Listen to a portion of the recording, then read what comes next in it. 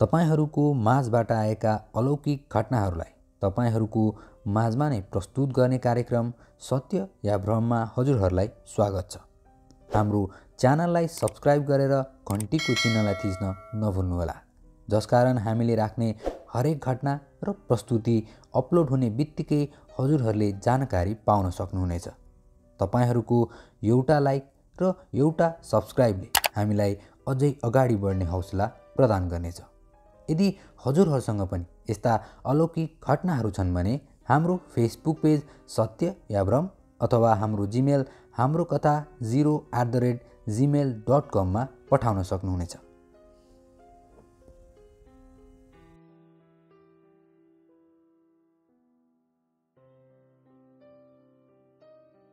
तपाईँहरूले कालो जादु तन्त्र मन्त्रको बारेमा सुन्नुभएको होला। आजकल मान्छेहरू यसलाई अन्धविश्वास र हावादारी कुरा भन्ने गर्छन्। यस्तो केही पनि हुँदैन भन्छन्। यस्ता खालका व्यक्तिहरूले त्यो कुरामा तब विश्वास गर्छन् जब यो कुरा स्वयंमा या उसको परिवारको कुनै सदस्यसँग घट्ने गर्छ। यो घटना हामीलाई अमरजीले पठाउनु भएको अमरजी पहिले झापामा बस्थे तर उहाँको परिवार व्यापार गर्न काठमाडौँ सरेको थियो। अब घटनालाई अमरजीको अनुसार नै हजुरहरूमा सुनाउन गइरहेको छु। मेरो बुबाको क्याटरिङको व्यवसाय छ। पहिले बुबा झापामा नै एउटा नोकरी गर्नुहुन्थ्यो। पछि उहाँले क्याटरिङको काम सुरु गर्नुभएको थियो र पछि गएर हाम्रो क्याटरिङ राम्रोसँग इस्टाब्लिस पनि भयो। म आठ वर्षको थिएँ जब मेरो परिवार काठमाडौँ आएको थियो। मेरो परिवारमा म मेरो एउटा सानी बहिनी र मेरो बुबा आमा हुनुहुन्छ। झापामा हामी कहिलेकाहीँ मात्रै जाने गर्थ्यौँ तर जब हामीसँग यो घटना घट्यो हामीले त्यसपछि त्यहाँ जान नै छोड्यौँ। यो घटना पनि आठ वर्ष पहिलेको हाम्रो जीवन राम्रोसँग चलिरहेको थियो। बुबाको काममा मैले पनि सहयोग गर्न थालेको थिएँ। मेरो कामबाट बुबा खुसी हुनुहुन्थ्यो। मेरो बुबाले मेरो बहिनीको लागि एउटा ब्युटी पार्लर पनि खोलिदिनु भएको थियो र उसको काम पनि राम्रोसँगै चलिरहेको थियो। एक दिन बुबाले धेरै भयो घर नफर्केको घर जान मन लागेको छ भने। त्यसपछि दुई तिन दिनपछि हामी झापामा जाने योजना बनायौँ र दुई दिनपछि हामी झापा गयौँ पनि। अब त्यो घरमा हाम्रा काका काकी आफ्नो दुई छोरा र छोरी लिएर बस्नुहुन्थ्यो। हामीलाई देखेर उहाँहरू धेरै खुसी हुन्छन्। भोलिपल्ट गाउँका केही मान्छेहरू पनि हामीसँग भेट्न आए। हामी कहिलेकाहीँ मात्रै आउने हुँदा बुबाका पहिलेका छिमेकी साथीहरू र उनका अरू नाचदारहरू पनि भेट्नलाई आए। कोही कोही अझै पनि जिस्काउँथे कि अब त ठुला मान्छे भइसकिस् यता त आउनै गाह्रो। है? बुबाको उत्तर कामले गर्दा आउन नभएको ठुलो मान्छे त उयो भन्ने हुन्थ्यो। म उहाँहरूको छेउमा बसेर सबै कुरा सुनिरहेको थिएँ। मलाई उनीहरूको कुरा सुन्न रमाइलो लाग्थ्यो। थोरै समयपछि उनीहरू त्यहाँबाट जान्छन् र साँझको पाँच बजे बुवाका ती साथीहरू फेरि फर्किन्छन्। राति अबेरसम्म गफ गर्छन् र त्यहाँबाट जान्छन्। भोलिपल्ट उनीहरू फेरि फर्किन्छन्। त्यो बुबाको साथी एउटाको चाहिँ छोराको जन्मदिन थियो र उहाँले मिठाई ल्याउनु भएको थियो। मिठाई दिएर आज बेलुका तपाईँहरू सबै हाम्रो घरमा खानाको निम्तो है चुल्लै भन्नुभयो बुबाले हामीतिर हेर्नुभयो। मानौ सोधिरहनु भएको कि जाने हो कि होइन तर हामीलाई त त्यहाँ जान मनै थिएन। तर बुबाले हुन्छ आउला नि भन्नुभयो। हामीले चाहिँ म र बहिनी चाहिँ हामी चाहिँ जाँदैनौँ भनिहाल्यौँ। तब बुवाले सम्झाउनु भयो कि होइन यहाँ काठमाडौँ जस्तो होइन नि एउटा घरले अर्को घरलाई नचिन्ने। यहाँ छ छिमेकीको हरेक सुख दुःखमा साथ दिन्छ। मेरो पुरा बाला पनि यहाँ बितेको छ। म यिनीहरूसँग नै बढेको छु यस्तो भन्नुहुन्न? बुबाले हामीलाई धेरै सम्झाएपछि हामी बुबाको त्यो साथीको घर जान्छौँ। खाना सकेपछि गुलियो पनि खानु थियो मिठाई। तर मेरी आमा र बहिनीलाई मिठाई मन पर्दैन थियो र उनीहरूले मिठाई खाएनन्। हामी चाहिँ खाना खाएर मिठाई पनि खायौँ र गफ सकेर साँझमा घर फर्कियौँ। त्यो साँझको भोलिपल्ट नै हामी काठमाडौँ फर्क्यौँ। काठमाडौँ फर्किएको पहिलो रात जब म सुतिरहेको थिएँ मलाई यस्तो लाग्यो कि कोही रोइरहेको छ। मैले समय हेर्दा त रातको एक बजिरहेको छ। यति राति नसुतेर कसलाई के भएर रोइरहेको छ? रोएको आवाज त आइरहेको थियो तर त्यो आवाज कहाँबाट आइरहेको थियो त्यो थाहा थिएन। म उठेँ। पहिले बहिनीको कोठामा गएँ। ऊ त सुतिरहेको थिएँ। त्यसपछि मम्मी बाबाको कोठामा पुगेँ। उहाँहरू पनि सुतिराख्नु भएको थियो। त्यसपछि कोही नभेटेपछि सायद मलाई भ्रमै भयो होला। या सपनामा पो कोही रोएको सुने कि भन्ने सोचले सुत्नको लागि फर्केँ। म सुत्ने कोसिस गरिरहेको थिएँ तर मलाई निन्द्रा लागिरहेको थिएन। त्यत्तिकैमा मेरो आँखा मेरो कोठाको च्यालमा पर्छ। मैले एउटा आकृतिलाई त्यहाँ उभिरहेको देखेँ। बत्ती नभएको कारण त्यो कुनै कालो छाया सरह लागिरहेको थियो। मैले हत्त नपत्त गएर बत्ती बालेँ। त्यहाँ कोही थिएन। मैले लाइट बन्द गरेँ र ओढ्ने ओढेर सुत्न थालेँ। त्यत्तिकैमा मलाई यस्तो लाग्यो कि मेरो खाटको दायाँपट्टि कोही बसेको छ। अब भने मलाई डर लाग्न थालेको थियो। मैले जब दायाँपट्टि हेरेँ त्यो छायारूपी मानव आकृति त्यहीँ थियो। डरले गर्दा जोडले चिच्याउँदै म त्यहाँबाट मम्मी बुबा भएको ठाउँतिर भागेँ। म चिच्याएको आवाजले उहाँहरू पनि उठ्नु भएको थियो र मेरो होस उडेको अनुहार देखेर के भयो? किन चिच्याएको? भनेर सोध्नु भयो। मैले उहाँहरूलाई सबै कुरा भने र आफ्नो कोठामा लगेँ। बुबाले कोठाको सबैतिर हेर्नुभयो तर त्यहाँ कोही पनि थिएन। उहाँले यहाँ त कोही छैन? उहाँले आजको यात्राको थकानले गर्दा तिमीलाई नराम्रो सपना आएको होला सुत भन्नुभयो। यति भनेर उहाँहरू आफ्नो कोठातिर जानुभयो। मलाई पनि लाग्यो कि सायद थाकेको कारण नै केही भ्रम भयो होला। तर पनि मलाई डर भने लागिरहेको थियो। त्यसै कारण मैले आफ्नो कोठाको लाइट बालिरहेँ र सिर क्वाममै ओढेर सुतेँ। रात कट्यो बिहान भयो र दिन साधारण नै रह्यो। तर भोलिपल्ट राति जब म सुतिरहेको थिएँ मैले कसैले फुसफुसाएको जस्तो आवाज सुन्छु। मानौ कोही निकै सानो आवाजमा बोलिरहेको होस्। मेरो निन्द्रा खुल्छ। मैले आँखा खोल्दा जे देखेँ त्यसले मेरो सातो पुत्लो सब उडेको थियो र मेरो त ज्यान जान्छ जस्तो लागेको थियो। त्यो हिजोको छाया कालो अन्धकार रूपी छाया मेरो छातीमाथि चढेको थिएँ। डरले म चिच्याउने कोसिस गरिरहेको थिएँ तर मेरो आवाज नै आइरहेको थिएन। मेरो आँखा बाहेक मानौ पुरा शरीर लाटो भएको थियो। अब कसै कसैले स्लिप प्यारालाइज भएको भन्ला। तर त्यो स्लिप प्यारालाइसिस त पक्कै होइन किनभने मेरो आँखा खुल्लै थियो।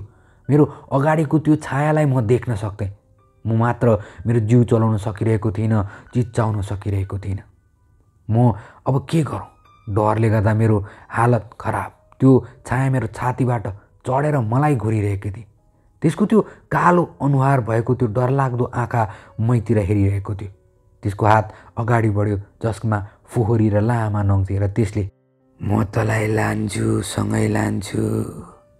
त्यो डरलाग्दो चिजबाट ती शब्दहरू सुन्दा म धेरै डराएँ। म यति डराएँ कि के गरौँ भनेर मनमा नै भगवान् महादेवलाई सम्झिन थालेँ र उहाँको नाम याद गरिरहेको थिएँ। मैले कतिखेर होस गुमाएँ मलाई थाहै छैन।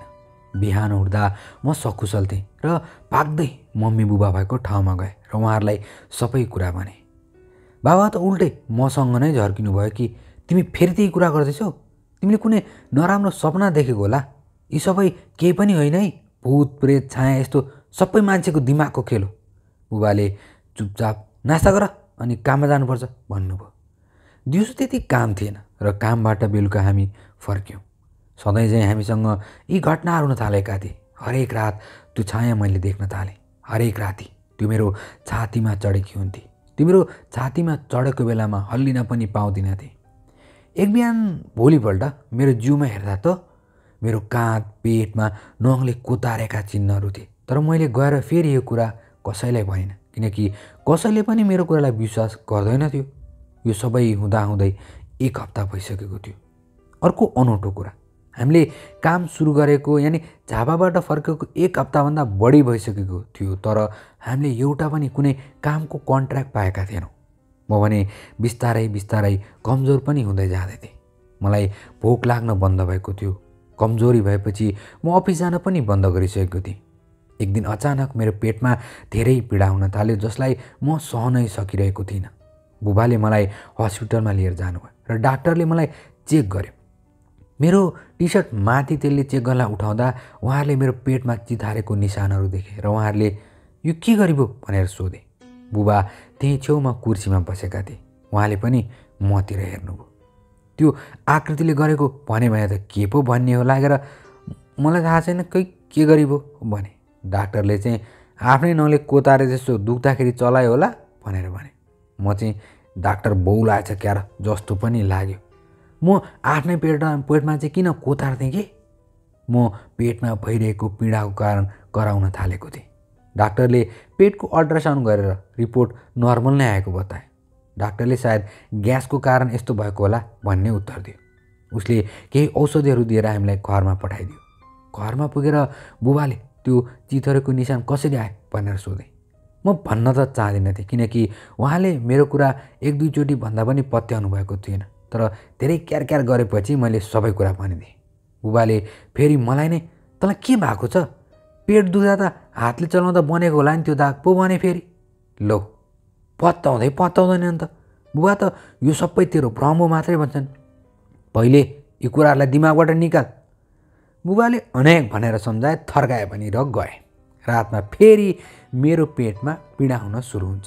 मैले औषधि पनि खाएको थिएँ तर औषधिको केही पनि असर भइरहेको थिएन।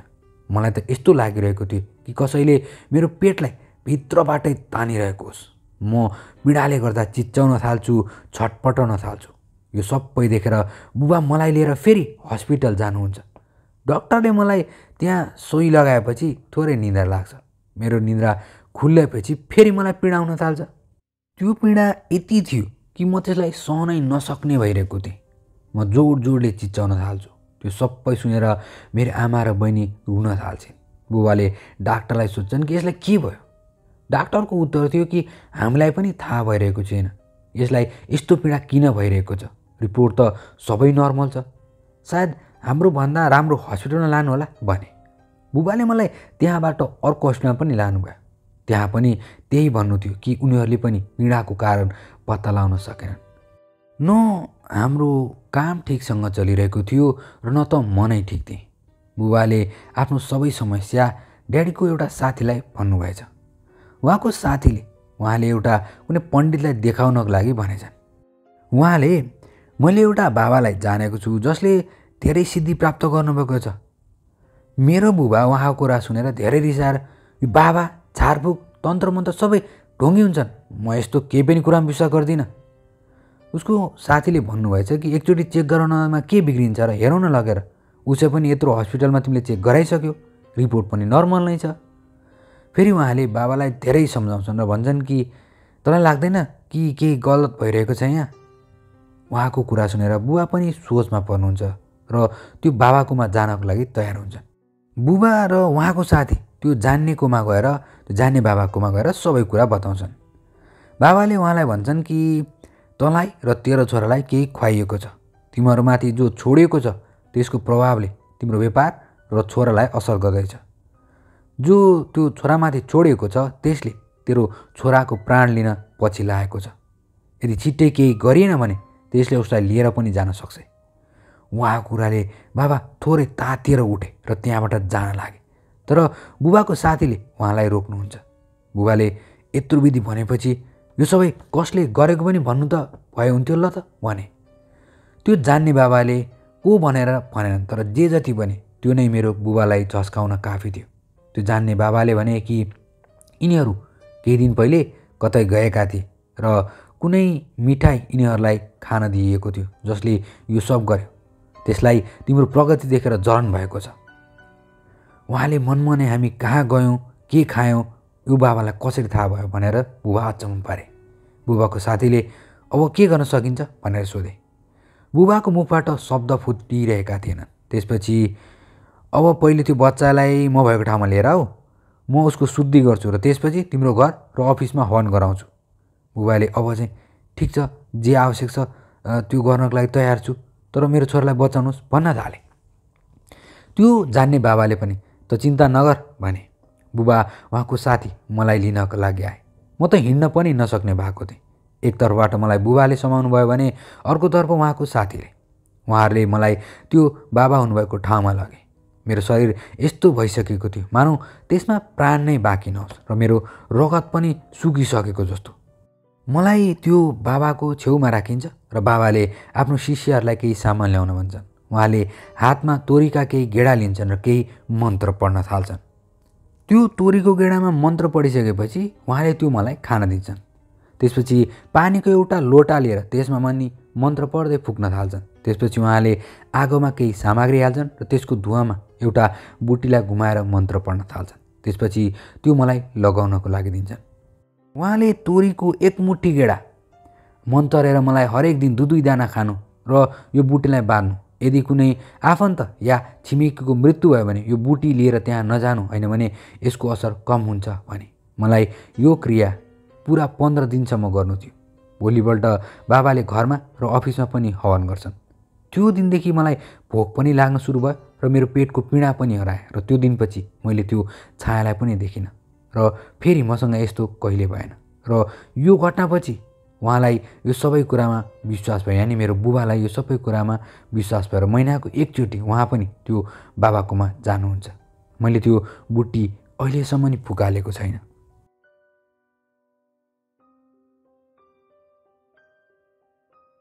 यो घटना शैलेशजीसँग घटेको थियो। म एउटा ट्रक ड्राइभर हुँ र सामान लिएर कतै जाँदा तपाईँको कार्यक्रमलाई सुन्ने गर्छु किनकि यस्ता कैयौँ घटना म आफैसँग पनि घटेका छन् र मलाई यस्ता कुरामा विश्वास पनि छ। धेरै घटनाहरू छन् सबैलाई बिस्तारै बिस्तारै पठाउनेछु तर आज मसँग घटेको अनौठो र डरलाग्दो घटनाहरूमध्ये एउटालाई हजुरहरूमा बाँड्न गइरहेको छु। मेरो एउटा साथी छ जसको नाम प्रभात हो। तर म त्यसलाई जिस्काएर प्रभा भनेर बोलाउने गर्छु। नजिकै सामान पुर्याउनु पर्दा त हामीलाई केही हुँदैन र दिनमै पुर्याइन्छ। तर कहिलेकाहीँ हाम्रो यात्रा लामो हुन्छ। काठमाडौँबाट सामान लिएर अछाम बाजुरा सङ्खुवा सभासम्म पुग्नुपर्छ जुन हाम्रो लागि लामो यात्रा हुन्छ। नेपालको धेरैजसो हाइवे मलाई राम्रोसँग याद छ। गाडी चलाउँदा चलाउँदा दिमागमा बसिसक्यो नि। मलाई निन्द्रा लागेको बेलामा प्रभाले टक चलाउँथ्यो र म सुत्थेँ। सायद मैले भन्न गइरहेको कुरा तपाईँहरूलाई सत्य नलाग्ला तर हामीले त भोगेका हौँ। एकचोटि हामी तनहुको राजमार्ग हुँदै सुर्खेतमा सामान पुर्याउन गइरहेका थियौँ। हाम्रो ट्रक गुडिरहेको बाटो त्यो बेलामा पिच भएको थिएन काल्टाङ खुल्टो ट्रक चलाउन अलि गाह्रो भइरहेको थियो। त्यो बेलामा मेरो लागि त्यो बाटो नयाँ नै थियो। मलाई थकाइ लागेकोले म पछाडि बसेको थिएँ भने प्रभाले ट्रक चलाइरहेको थियो। त्यसले लगभग चार पाँच घन्टादेखि गाडी चलाइरहेको थियो। सायद निकै बेर ट्रक चलाइरहेको कारण उसलाई पनि थकाइ लाग्न थालेको थियो। मैले प्रभालाई त अब आराम गर म चलाउँछु भने उसले नि खुरुक्क मानेर हामीले पालो बद्ल्यौँ त्यसपछि म ड्राइभर भएर सिटमा बसेँ। पहिले भने कि हामी जुन बाटो गइरहेका थियौँ त्यो बाटो एकदमै नराम्रो र खतरनाक थियो। हामी जाँदै गर्दा प्रभात निधायो। त्यही भएर मैले त्यसलाई उठाइनँ त्यो बाटोमा म सायद दोस्रोचोटि आएको थिएँ। त्यसै कारण मलाई बाटो थोरैसँग त याद भइरहेको थिएन ट्रक अगाडि बढाइरहँदा एउटा दोबाट आयो। त्यहाँबाट चाहिँ कता लाग्ने मलाई याद भएन। मैले प्रभालाई उठाएर ओह कतै जाने हो? मैले त बिर्सेँ भने। प्रभा उठेन। अर्ध निन्द्रामा थियो त्यो। निन्द्रामै त्यसले एकातिर इसारा गर्यो। मलाई त पहिले दोधार भयो कि यसले त्यही बाटो भन्यो कि? निन्द्रामा के भनेको? केही मिनटको ड्राइभपछि बाटो छेउ जङ्गल सुरु भयो। रातको समय चिसो नै थियो र हुसु लागेको थियो। केही बेर अगाडि बढिरहँदा मलाई यस्तो लाग्यो कि बाटोको बिचमा कोही हिँडिरहेको छ।